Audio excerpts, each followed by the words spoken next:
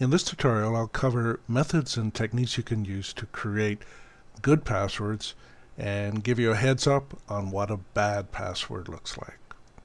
What is a bad password? Well, simply put, it's any word that appears in the dictionary. It's any word that's about you, your family, or your work. Here's some examples.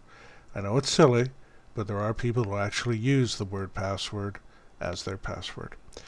Taking any word in the dictionary, like the word today, and adding a 1 to it is a bad idea for a password. Taking any common phrase and simply stringing it together, as in, let me in, bad idea.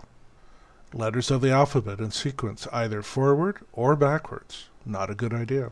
Same with numbers taking a letter and simply repeating it four or five or six times, or numbers.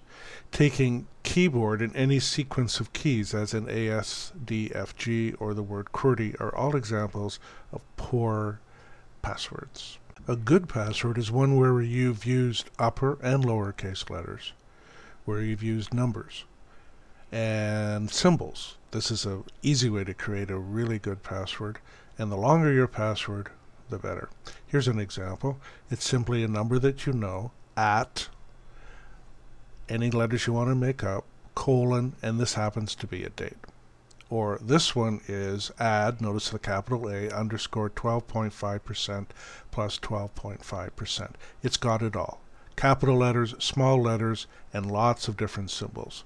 This is right off uh, a, a carton of milk. 17.9% K cal, notice the capital so equal low fat. Symbols, upper, lowercase numbers. And if you find a phrase easy to remember, then make it into a password. I like to eat apples with peanut butter and throw an exclamation point at the beginning to make this the perfect secure